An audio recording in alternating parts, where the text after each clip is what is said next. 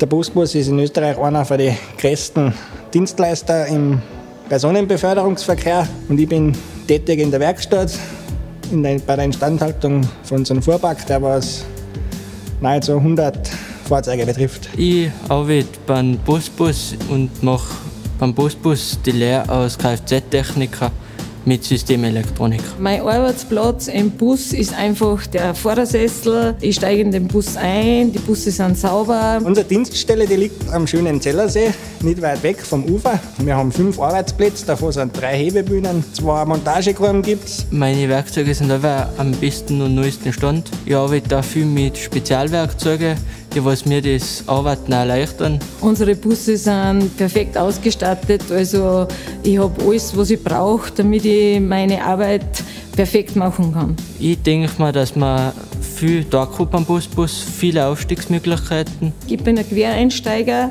Ich habe mit 52 Jahren erst einen Führerschein gemacht und bin bei Busbus sofort aufgenommen worden. Busbus ist sicher irgendein Begriff, der, der steht für Pünktlichkeit, Verlässlichkeit und einen ordentlichen Fuhrpark, dass wir unsere Leute von A nach B bringen. Ich denke am Busbus an die Regionalität und die Zuverlässigkeit, natürlich auch an die großen Bus und Busbus befördert Personen in ganz Österreich von A nach B. Es ist einfach so herrlich, weil du fährst da aus der Verkehrsstelle aussehen, du fährst neben einem See her. Das ist einfach überwältigend, der Blick, den was man da hat und eben der ganze Weg nach Salzburg aussehen ist, ist wunder, wunderschön.